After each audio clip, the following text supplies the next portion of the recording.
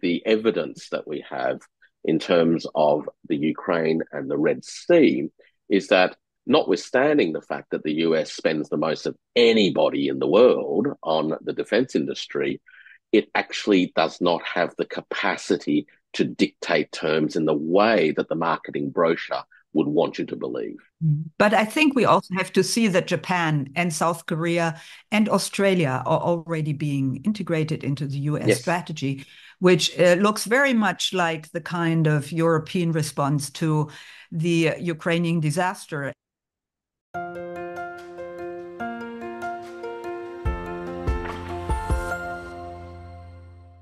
Hello, everybody.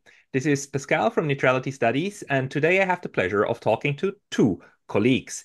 One is Susan Weigelin-Schwiedrzik, a China specialist with a special focus on contemporary history and politics. She was a professor of sinology at the University of Vienna until she went into retirement in October 2020. Susan is also, she's a German citizen, but she's currently in Austria. And then we have Warwick Powell, who's an adjunct professor at Queensland University of Technology and a senior fellow, fellow of the Taihe Institute, who's also specialized on questions of China multipolarity. And he's the person I am with in the Multipolar Peace Alliance. And today we want to discuss China's role in this emerging multipolarity and exactly what kind of multipolarity. Susan Warwick, welcome. Hello. So thank you very much for agreeing to this talk today. Also, that we can do it between the three of us, because I think both of you, you have your uh, specialities and you have your view on how China works in the international system. Maybe let me start with Susan, because you sent me a short piece in which you are kind of explaining how you see that China is moving, and you are also uh, pointing out that the Europeans are probably not properly understanding um, how China sees the emerging multipolarity. Could you maybe flesh out the way you see China moving? And then I'll ask Warwick to react to that. Yeah, thank you for giving me this opportunity. And um, I think maybe we should start out to understand that originally, which is before the war in Ukraine, China did not use the word multipolarity very often. They used it for a certain period of time, and then it somehow faded out. It was not at the center of uh, discussions in China because I think at the time they actually wanted to divide the world into two.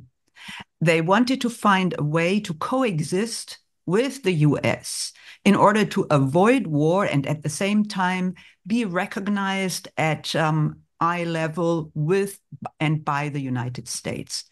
But with the beginning of the war in Ukraine, I think a third actor came into the game, which is Russia. And one of the reasons why Russia decided to use the tool of a military attack was that it wanted to make clear that this world could not be divided into two.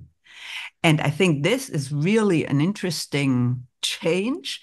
Uh, and we are grappling with this change because we don't, I don't think we really understand it in all its implication as of now.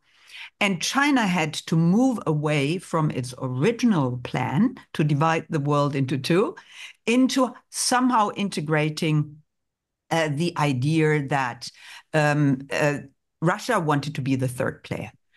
And now Russia comes in with the idea of multipolarity, and it does not really tell us what multipolarity could be like. And I think maybe there are also differences in understanding between Russia and China uh, as to what we need to understand under multipolarity.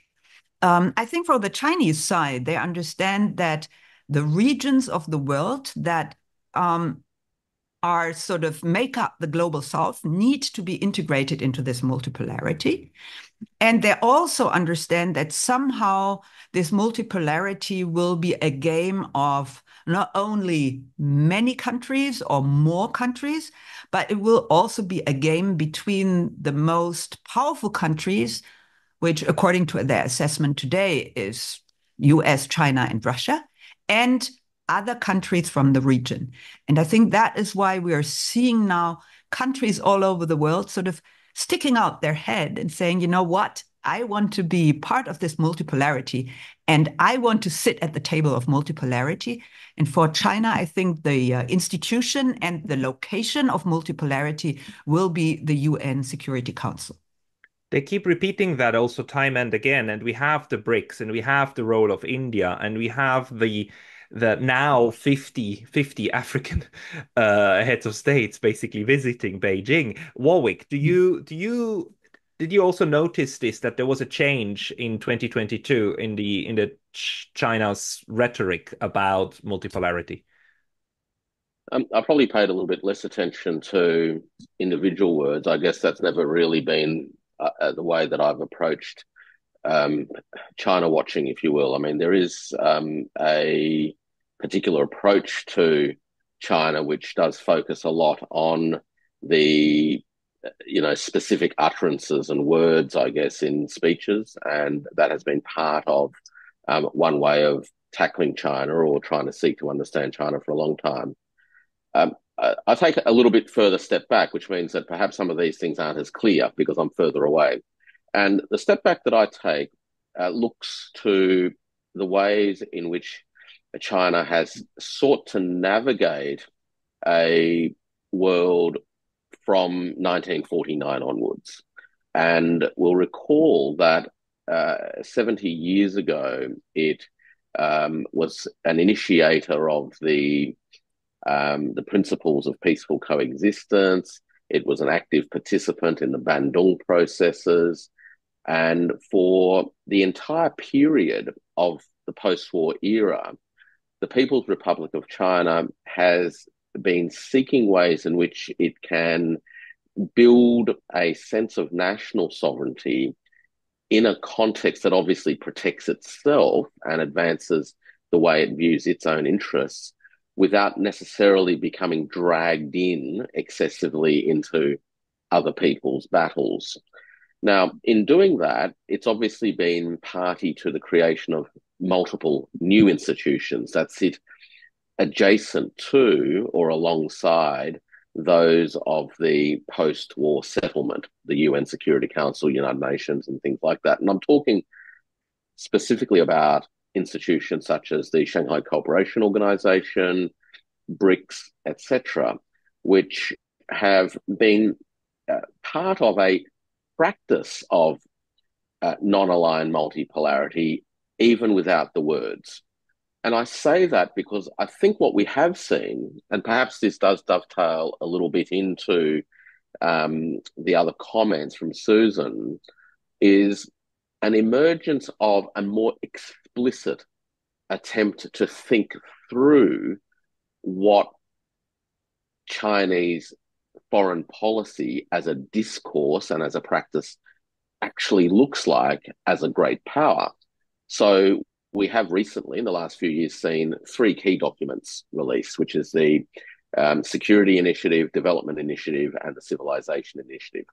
And all of these combined seek to shape a way of exploring and thinking about China in the world. I think this is a work in progress, which I guess is uh, what we're trying to grapple with, is that it's not a locked in, solid state um, fixed in time framework or approach, but it's a work in progress as China seeks to understand itself, understand its immediate region, but also be responsive to clearly an environment that is in substantial transformation.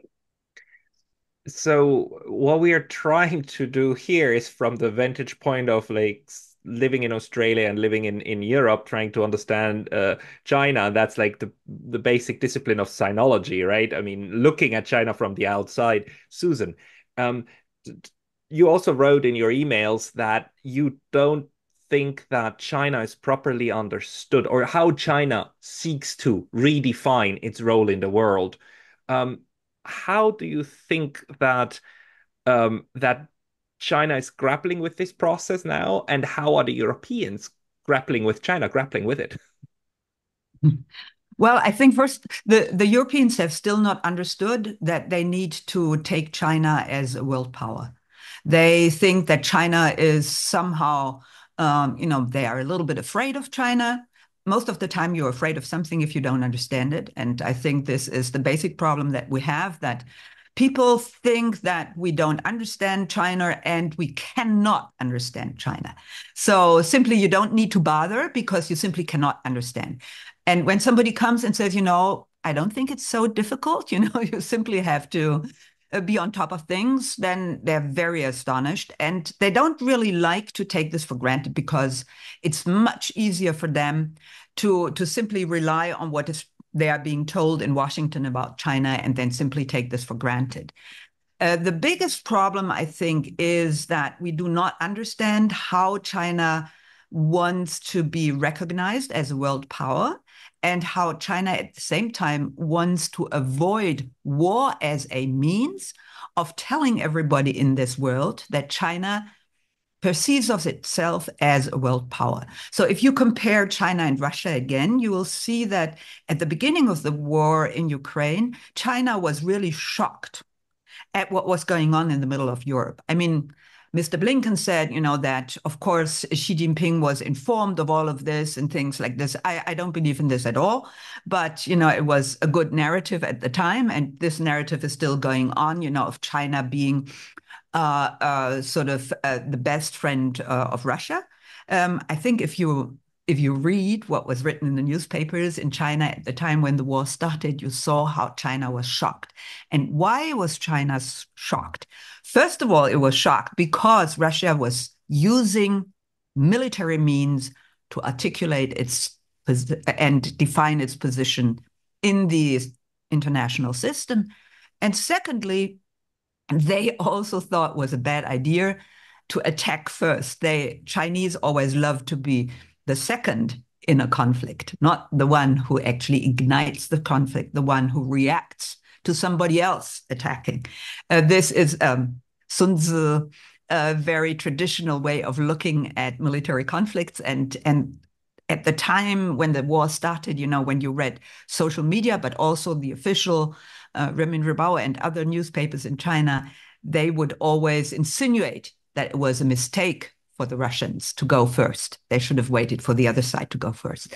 So uh, I think this is something that we don't really understand. You know, we for a very long time in Europe we thought that China was just our best friend because we were making lots of money in China, and we didn't want this to be changed. Now we go into the other direction, and our leadership tells us that China is really, really a big threat. And although we also think that Russia is something that we need to be afraid of now because the policy in Washington is changing towards pivot back to Asia. So um, we Europeans are also pivoting to Asia and we're looking at China suddenly as a major threat to Europe. I don't believe at all that China is a threat to Europe. And I think that um, for China, the most important thing is actually to win Europe and to drive a wedge between the United States and Europe in order to isolate the US and make it impossible for the US to um, somehow militarily um, do what they think they need to do in order to um, get their interests to a point where they want to have it. There are all of these stupid narratives around and sometimes it's difficult to know which narratives are being taken serious and which are which aren't.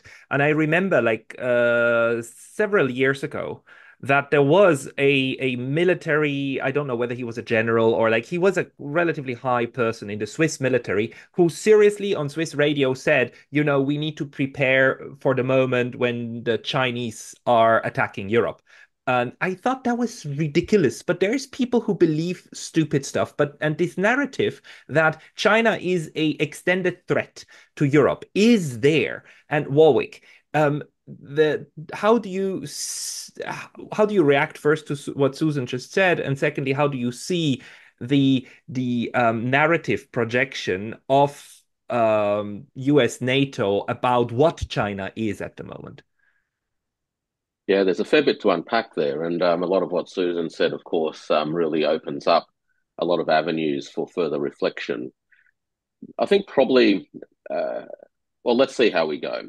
I think the first thing that I observe in this current dynamic is that there is um, China's China, and then there's America's China and Europe's China, and etc. etc.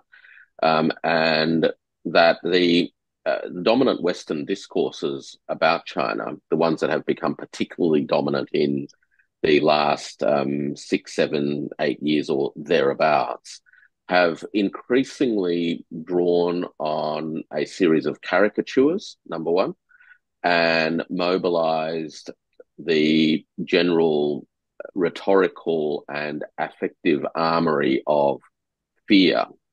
So we, and, and that's underpinned by this notion of threat. And we see this um, right across the transatlantic narrative structure about China that permeates uh, the attitudes that the uh, that, that Western allies, even in Asia, whether it's Australia, Japan, etc., uh, view China as well. That China is now viewed through this frame of threat.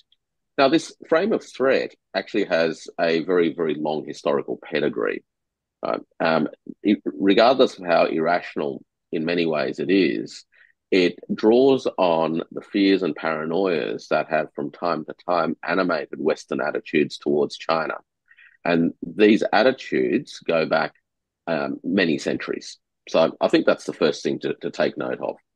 The second thing that I, I tend to um, uh, often try to reflect on is not only this idea of China's China, but how China perhaps is seeking to think about the world and how that contrasts conceptually or discursively with how the uh, mainstream Western uh, foreign policy elite tend to think about the world. And in these different perspectives about uh, what the world is and how countries exist in the world, we start to find uh, reasons for understanding uh, difference, if you will. So the Western framework, in many regards, views the world as comprising of a series of atomized countries or nation states that interact with each other with a series of defined interests. And the interactions are largely anarchic because there is no overriding Hobbesian, um, uh, you know, overrider um, keeping keeping things in charge. The United States, of course, seeks to play some kind of a Leviathan role um, through its position as hegemon, but in large part, uh, the view is ontologically that the world is made up of this atomized set of nation states. China, on the other hand, views the world holistically, that all parts of the world are interacted and intimately intertwined with each other as the starting point. And that sense of holistic mutual coexistence versus the atomized um, uh, disparate existence set of relationships, I think frames the world in incredibly different ways. And that's a useful starting point for understanding China's China, China's view of the world versus the West China and the West view of the world. Susan, do you agree? Well, I would totally agree that this is um, very important that we not only analyze the um, US American and European narratives on China, but also China's um, view on China. But I would say that we need to understand that China not only looks at the world holistically, but it also recognizes its own interests in this world. So this implies that China is trying to actually reach its aims as part of this holistic view of the world which makes our perception of what is going on in China really complicated because uh, you just mentioned the three documents that the China uh, that China released um, during the last years.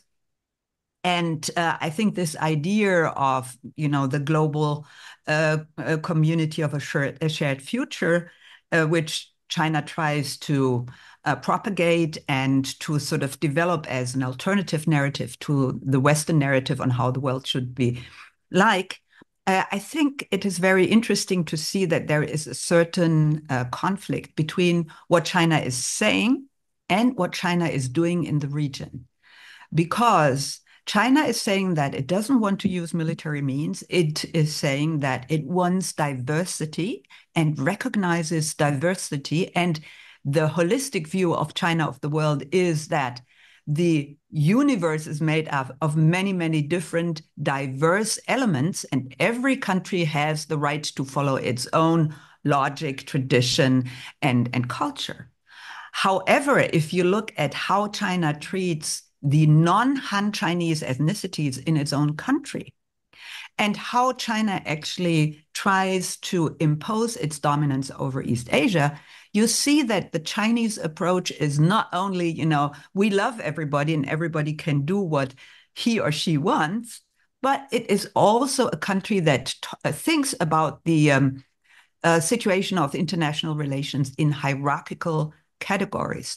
And the hierarchical categories, I think, come from Chinese uh, history and from the historical experience of the tributary system in which you actually see China as the center of a region. And by being the center of the region, China has always viewed itself in the past as the center of the world. And I think this is a sort of uh, an element of Chinese thought that we need to have in mind in order to understand why China is much more assertive in its own region. It is coercive in its own country in its relationship between Han, the Han Chinese majority and the ethnic minorities. And this element needs to be integrated into the story, although the Chinese, of course, don't integrate it themselves. The I find that quite interesting because this was a que- is a question to me. It's like especially when it comes to China's let's call it near abroad, which is a, a Western IR term, mm-hmm. but uh, mm-hmm. you know the, the the the relationship with the Philippines, in my view, mm-hmm. could be way better uh, if there was more of carrots coming from China and less of a stick. But there was a lot of stick coming uh, when it, when it comes to the Philippines. But at the same time, China is very good at outreach to countries further away in in mm-hmm. Africa, in in also in South in South America, and it uh, it it offers at the moment uh, a more a more well multipolar or diverse uh, uh, view mm. of the world. And then the problem with the West is that they always map their own concepts on the other. The way that they behaved in their hemisphere and they how they purged especially in the United States, in North America, the entire native population. That's what they then expect China will do in its sphere, which is not the same approach, uh, what they are yeah. doing with non Han Chinese uh, uh, people. Uh, Warwick, do you want to react to that? Like these, the China's view of its near abroad versus the, the yeah. larger world?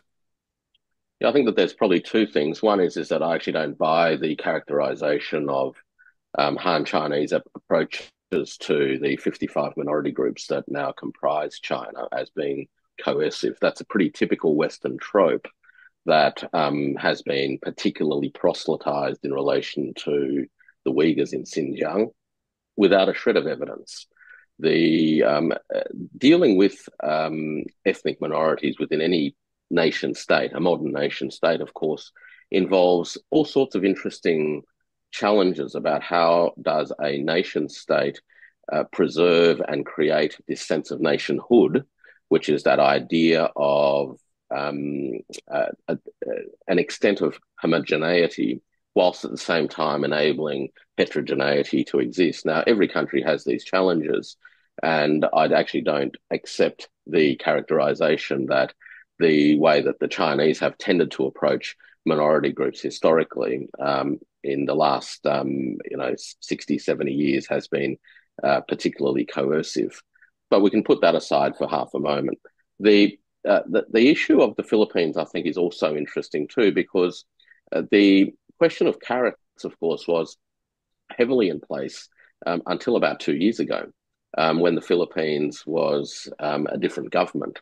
And china had a, a, a more uh, economically oriented uh, engagement with the Philippines, providing significant funding and infrastructure to develop infrastructure in the Philippines. But those relationships, of course, in the last two years have um, uh, you know, become increasingly rocky with the change of administration.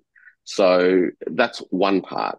So it's not just that China has a coercive approach to its near neighbors. In fact, it, it hasn't in relation to the Philippines until very recently, where tensions have flared up. The second interesting point is the contrast China's approach to what Vietnam's doing in the South China Sea mm-hmm. versus what the Philippines have been doing in the South China Sea in recent times.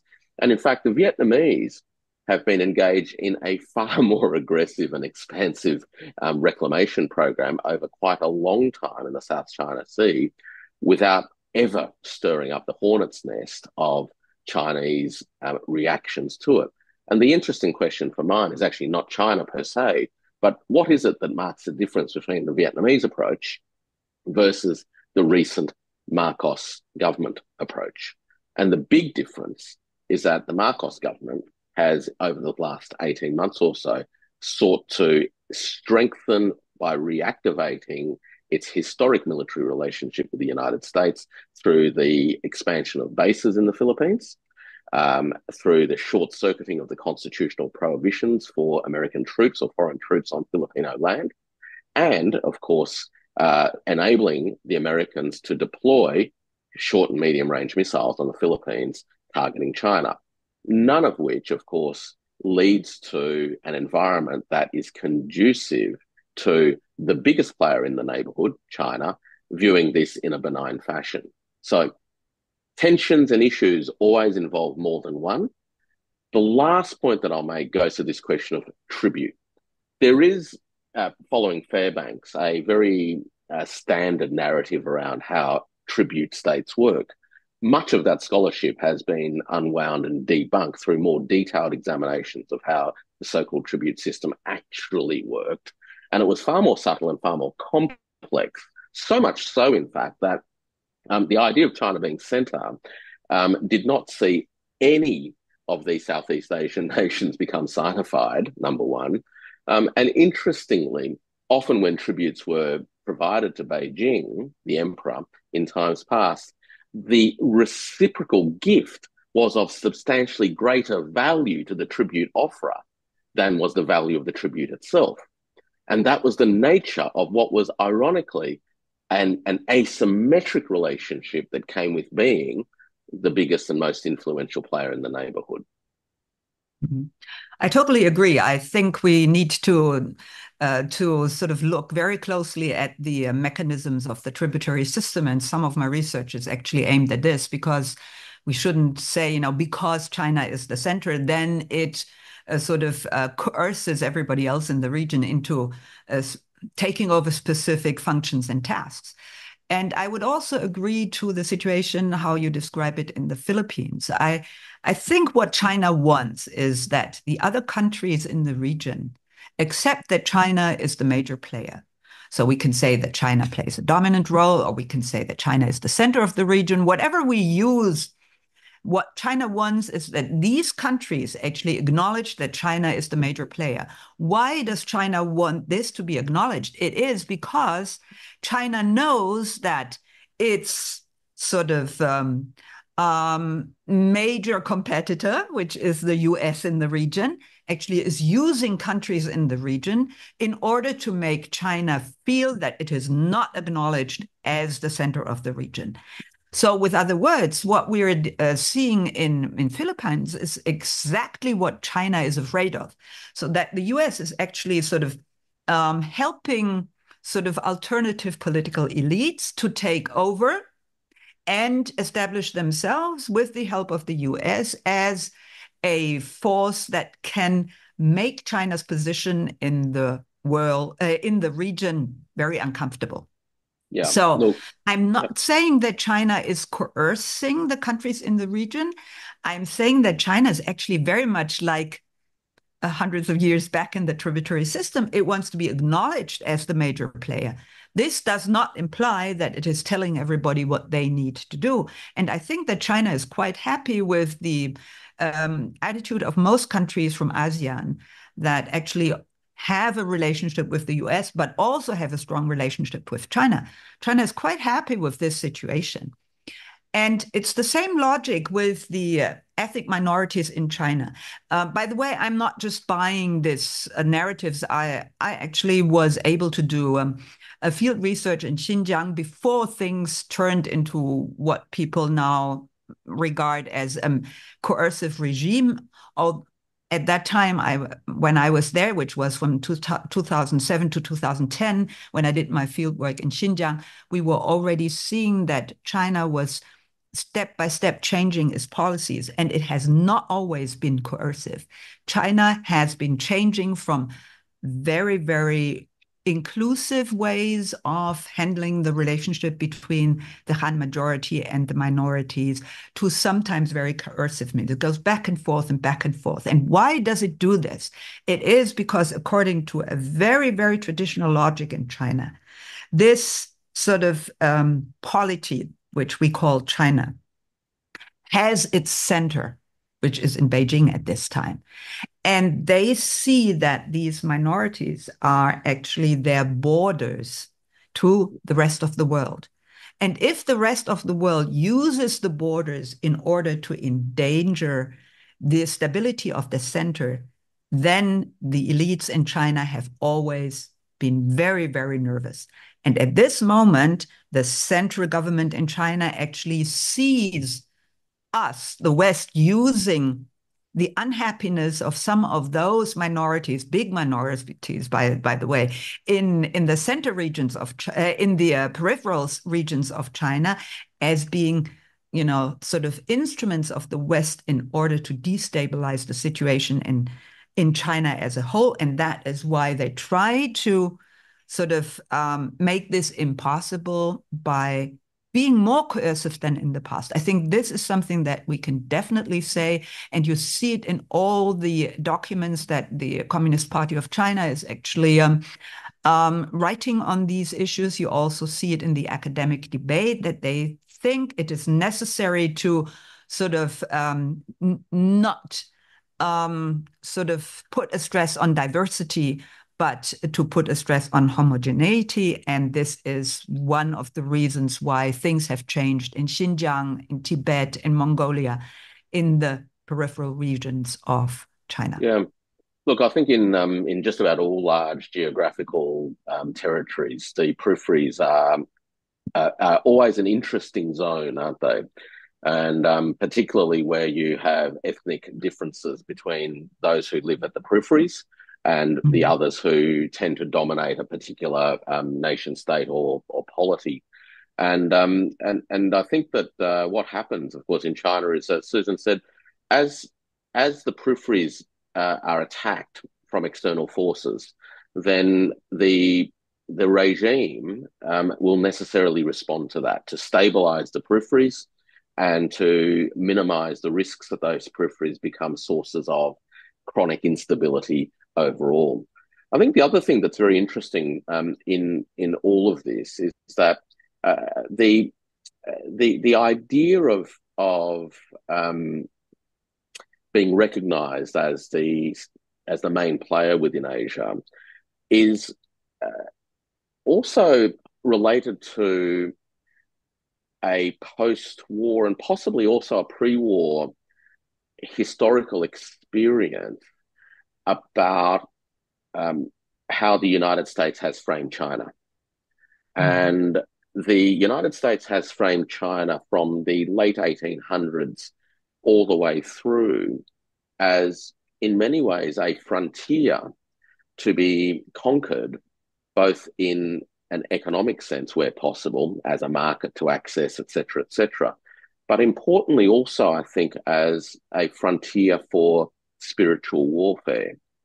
So we saw from the late 1800s through to the revolution a significant growth, particularly in Protestant missionaries from the United States, work their way through China, play very important roles in the public debates at the time about what a modern China could or should become, to a point where Chiang Kai shek and his wife um, were baptized as Christians and where many in the KMT in the Republic of China at the time actually viewed their purpose in creating the new China as creating a Christian China.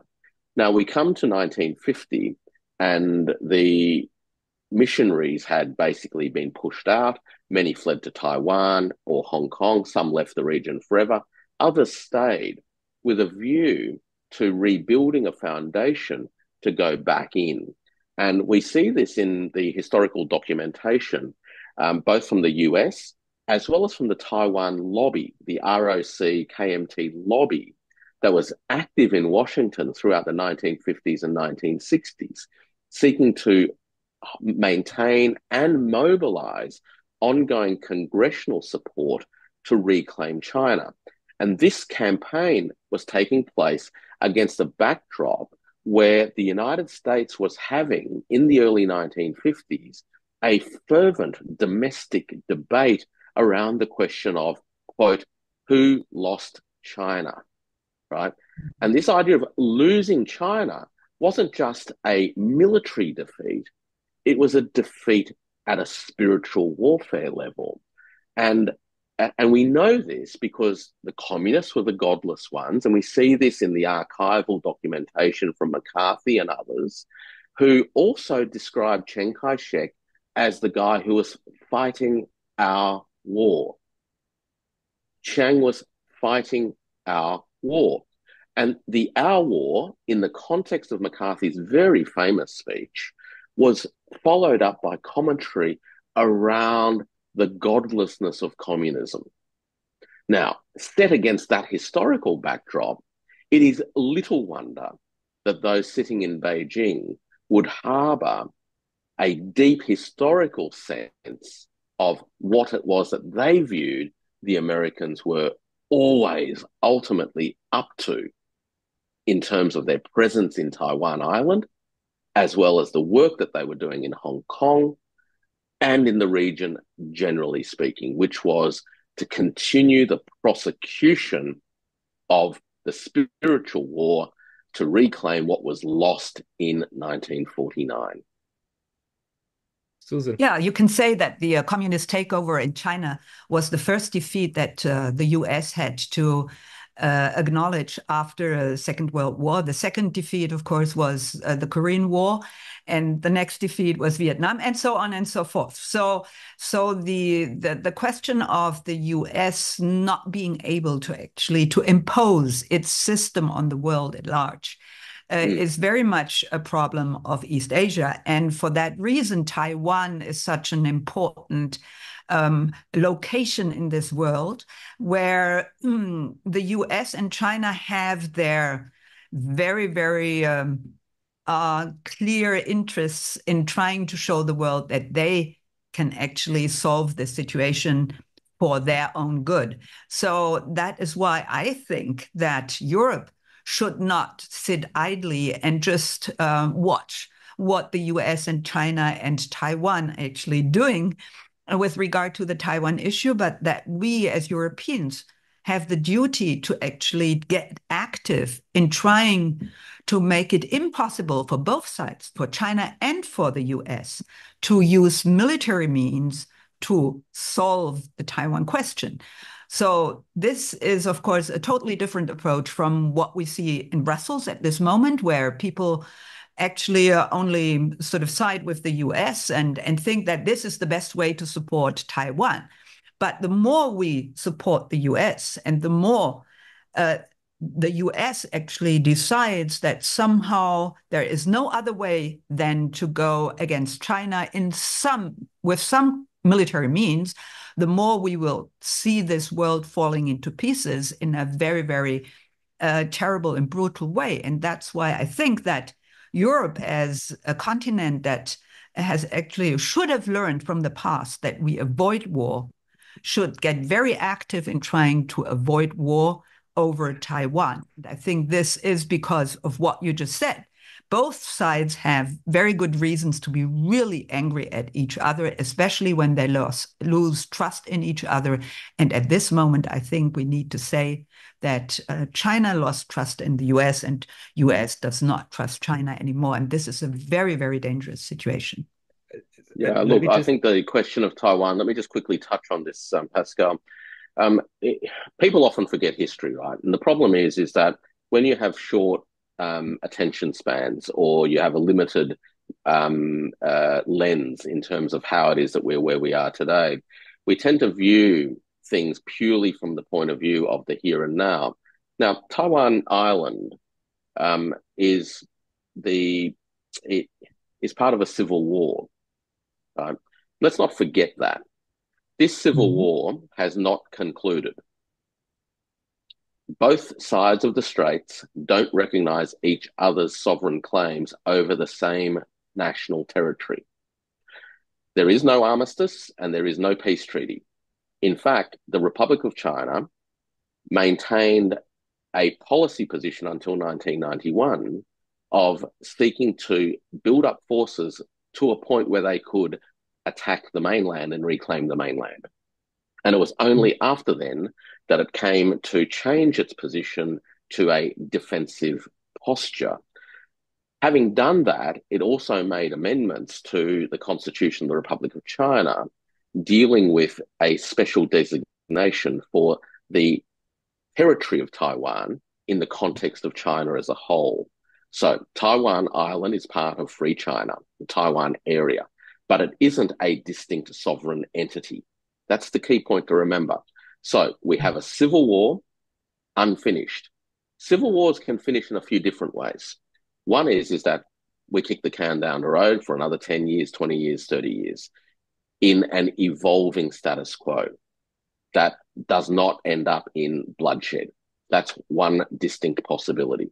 Another possibility is a resolution where the parties agree on a settlement of some kind. Now, that resolution can happen in a few ways as well. One is without bloodshed, and the other one is with bloodshed. So, we are at a moment, a pivotal moment, where the question that the West needs to really reflect upon is whether or not it wants to play a role in the peaceful resolution of a civil war or not. And those who have been advocates of positions that have, in effect, been salami slicing the one China policy, pretending that Taiwan Island is a sovereign entity in and of itself de facto, um, ignoring the, the, the legacy, the real legacy of an unfinished civil war, are playing with fire because they are pursuing their own interests ahead of the interests of the peace of both sides of the strait. May I interject? So yes, they're not only they're not only going against their own uh, against the interests of the two sides. They're going against their own interests because if there's war over Taiwan, the world economy will be uh, falling into pieces with, uh, within a very short period of time, and the, the the the war will be internationalized and not a war between Taiwan and China within a few days, and this will be very bad for the world at large. Yeah, the one problem we have is that there are people. Uh, especially in the Washington establishment, these neoconservative circles that actually take that they take that as okay we are we're willing to pay this this is fine with us uh, uh, they have they they did that with Ukraine. They're doing that with, with pushing a war that could have de- been de-escalated at several points, also by using a neutral Ukraine, for instance. Uh, and th- there are circles who are willing to do that. I call them warmongers or whatever you want, but there are people who who who, yep. who seek this. Unfortunately, I, I, want to interject though two yep. things. One, my observation is that the, an interesting fact about uh, uh, conflicts that drag on is that they tend to change. In my view, the the, the original question between Taipei and Beijing was who is China? Is it Taipei, the Republic of China, or is it Beijing, the People's Republic of China? And that question is settled. Nobody, none of the two sides argues this anymore. The question is now is Taipei is the Republic of China and, and Taiwan its own distinct entity. No, That's a completely different. Agree at all. You, but the the the, not, narrative of the conflict changed, all. didn't it? No, not settled at all. And this is my point. There is a section of the Taiwan political establishment that wants to proceed on the basis that this question has been settled de facto, has been settled de facto, because they actually want to prosecute the idea of Taiwan independence. Now, to do that, they actually have means to do that. Firstly, lawful means that is. Firstly, they need to get a resolution passed in the legislative yuan in Taipei. There are provisions that enable the redefinition of the territories that constitute the territories of the Republic of China. Then there needs to be a referendum of eligible citizens of the free territories, right? they're not going to get either of them up. They're not going to get the first one up. So they're going to proceed on the basis that somehow this is an accepted reality de facto. But that's not actually the reality. The reality is, Google remember, takes two to tango. Beijing does not accept that as a de facto claim. But right. does, so, does Beijing accept of, the existence of the Republic of China? No, neither side accepts each other. That's the point, right? Beijing sees the People's Republic of China as the successor of the Republic of China. Yes. The Republic. So this is not a question of two Chinas. There is only one China. Which one will it be? That's the issue, right? And until people get their head around this, so a lot of younger people think, oh, there's an island, right? So it's easy to define this island, you know, because it's uh, geographically distinct. But that's not the issue. The issue is about sovereignty right? The fact that there is a, a series of territories involved, some of which happen to be fully circumvented by ocean, is a different question. And so, until we actually resolve this first question, so Taiwan, Taiwanese separatists have the means by which they could pursue their aims if they were actually game to do so.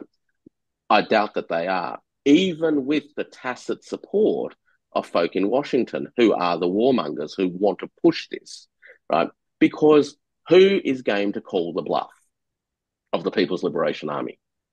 Who is game to call that bluff?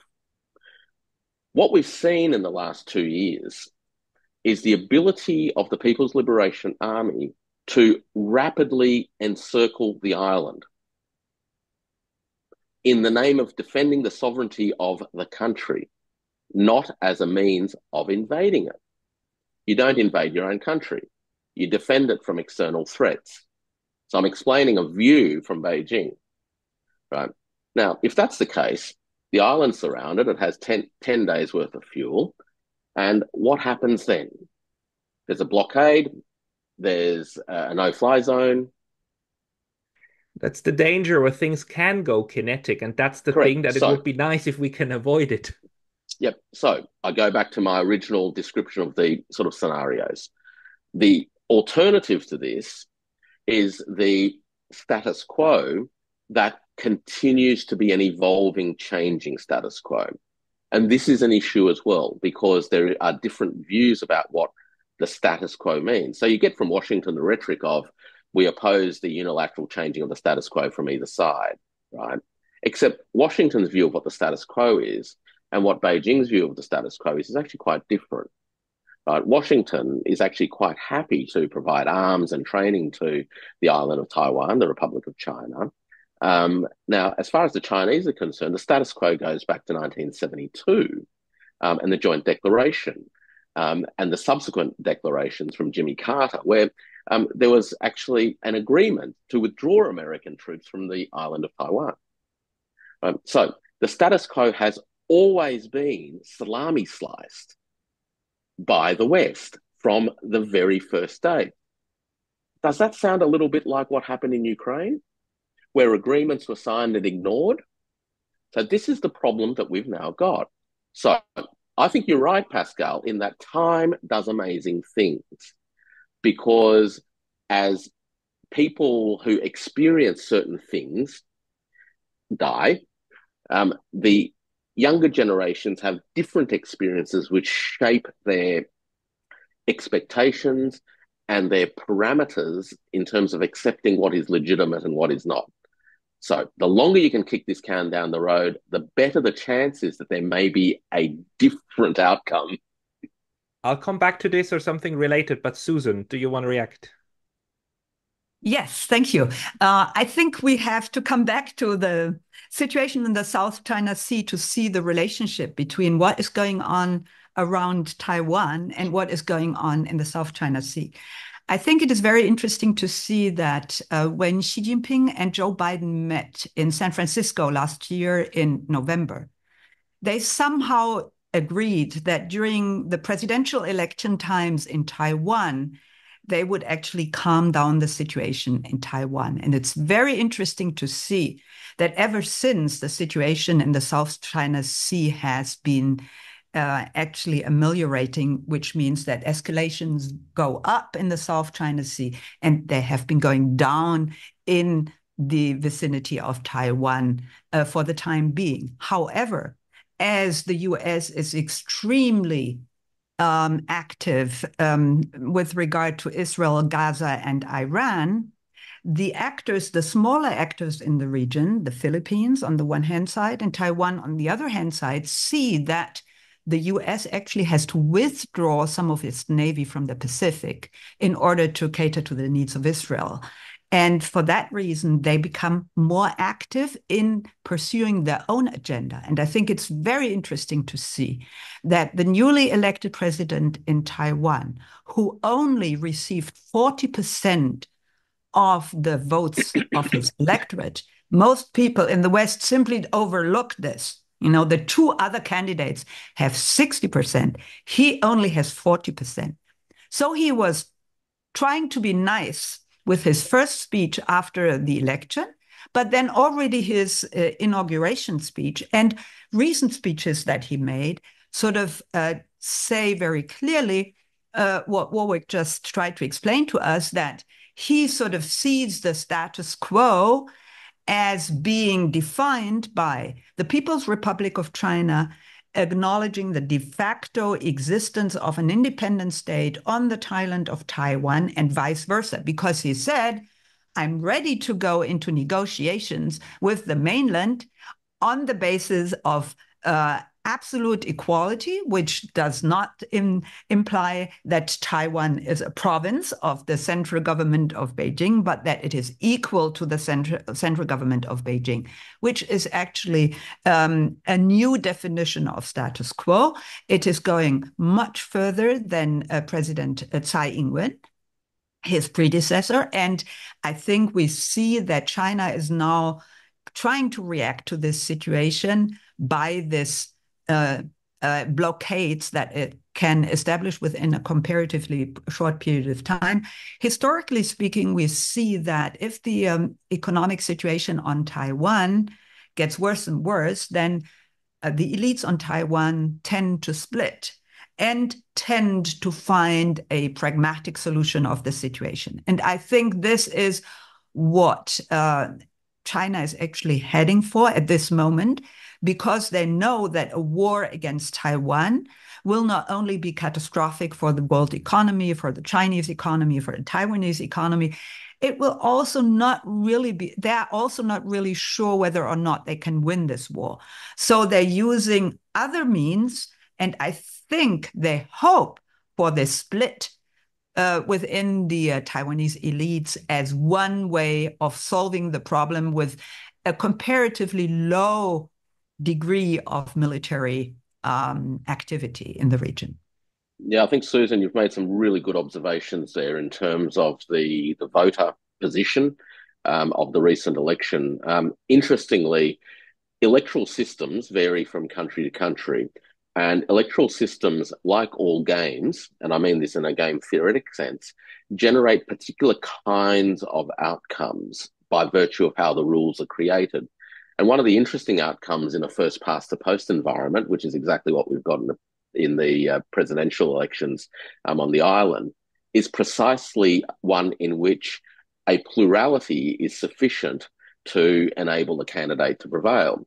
So you've actually got a candidate who uh, is the executive head, um, but doesn't control the legislative um, mechanisms in the in the legislative yuan. Now, that tells us some very important things that, in fact, the population at large is actually not overwhelmingly committed to the, the, the agenda of the DPP. That's one. Mm-hmm. And that's quite important. It goes to Susan's second point, which is uh, the ways in which the elite and the demographic bases that those elite represent may actually fall in the context of the blowtorch being applied because that's what we're talking about is a change in the military come economic arrangements that will affect the livelihoods of those on the island. Now, the elites will respond quickly. There's no two ways about that, in my view. And that, in fact, I think the pressure will be on for phone calls to be made from Taipei to Beijing incredibly quickly in the event of a serious blockade to protect the island from external forces. And I mean protect the island from external forces in terms of American forces on Okinawa, American forces emanating from the Philippines, and American forces emanating from the Western Pacific. So, in all of those contexts, what we've got is a situation where um, I actually think that the uh, that the military planners in Beijing are reasonably confident. Firstly, that the Americans can't prevail anyway. So the Americans can't prevail anymore. They are not in a position to be preponderant in the Western Pacific, um, and therefore the Americans um, are going to have to have second thoughts actually about what they're willing to do. Why do I say that? Well, I say that because I think that there's some changes in the nature of war and military technologies that actually enable China to already today bypass the first island chain, number one. And number two, I think the evidence that we have in terms of the Ukraine and the Red Sea is that notwithstanding the fact that the US spends the most of anybody in the world on the defense industry, it actually does not have the capacity to dictate terms in the way that the marketing brochure would want you to believe. Mm. but I think we also have to see that Japan and South Korea and Australia are already being integrated into the US yes. strategy, which uh, looks very much like the kind of European response to the Ukrainian disaster. And uh, I think this is, of course, something we have to have in mind, especially if there is yet another war theater going to evolve from uh, the uh, situation in the Near East. So uh, the US knows that it is already in a situation where it has to be active in so many different regions of the world that its focus on East Asia cannot really um, sort of um, be in effect. And so that is why they're mobilizing. Yeah. Um, the Japan, they're mobilizing uh, South, Korea, uh, South Korea, they're mobilizing Australian forces. And it's very much um, sort of uh, up to these countries to to show or not show whether they are in support of a possible military action over Taiwan between China and and and the U.S. But um, as we can see, I think the U.S. has learned that it needs to mobilize other countries to fight on its behalf rather than being directly involved into military uh, into military theaters. And this is especially true when two nuclear powers like uh, China and uh, the US actually would meet on the battleground. They're trying to yeah. avoid this. We see that they actually signaled this very early on uh, when uh, Russia. Um, when they talked to uh, to sort of about the situation in Ukraine, they said we will never interfere because they know the enormous danger of two nuclear powers going against each other. And this is yet another reason why they have to mobilize the countries in the region. And this, of course, uh, is a very, very tricky situation because um, the more you mobilize countries in the region, the more the Chinese government will get nervous and maybe not always take the right decisions, especially, and I think with this, I would like to end this intervention, India is of enormous importance in this uh, context because, as we know, Japan and South Korea are countries with a comparatively small military force. They they they cannot simply, in terms of manpower, match uh, China. But if you integrate India into this uh, group of countries that are willing to support Taiwan in a situation where China actually goes uh, by military means against uh, Taiwan, this would imply that they have the manpower from India. And that's why they're working on India and trying to, to get India into this alliance because then they're well prepared for everything, they think this discussion is so huge we need another hour but we have to wrap it up at this point. One because i have another meeting. B because i really need to go to the toilet. But we will do a continuation. And i, I give you one more uh, one minute warwick and then one minute susan to okay. finish the, the debate. Warwick. Well look it's it's really a discussion. I mean i'm not quite sure whether there's any any points of um, real disagreement. I think we're just adding uh, depth and richness to to the reflections here. The um, the the issue, I guess, I think I'd, I'd wrap up on these points. Firstly, that um, any um, interventions on the part of Western powers and their allies in relation to the question of the Taiwan Straits is an intervention in a civil war. That's the first point I'll make. The second point I'll make is that um, uh, I, I, think it, uh, Susan is dead right that the Americans uh, are in a position where they are compelled to seek to mobilize others. Interestingly, of course, in mobilizing others, um, these others are largely dependent upon the Americans for the hardware. Now, that's a problem because the American weakness now is actually fundamentally related to its industrial capacity and its supply chain of repair and replacement. And on all of those fronts, they can mobilize um, all of the allies that they want. But unless those allies can be furnished with the hardware necessary to prosecute a sustained engagement, then those allies will basically be lambs to the slaughter. Mm-hmm. Maybe I want to wrap up, up by sort of uh, bringing in a thought that we have not yet talked about, but which we maybe should be talking about um, when we uh, meet the next time. It's very interesting to see that many people speak about the end of the Second World War era. But at the same time, the Second World War era and the post World War II era is still playing an enormous role in what is going on at this moment. Yeah. And it's very interesting that the two countries that were defeated during World War II, Germany and Japan, are going to play a major role in what is going to develop within the next months to come. And I think maybe we should um, talk about this. I mean, me being a German, I'm of course uh, very, very sort of uh, interested in understanding the situation. I don't really know whether I already understand it, and maybe with Pascal being in Japan, we also have someone to to enter the discussion to look at this from a Japanese point of view, and I think that would be really important and very, very interesting. And here's my here's my suggestion for the next panel that we're gonna do. We're gonna do this, but we are not gonna start in 1945. We're gonna start in yeah. 1931. Okay. Very good. With that, my friends, yeah. Susan Warwick, thank you very much for your time today. Thanks. Thank Pascal. you for having me.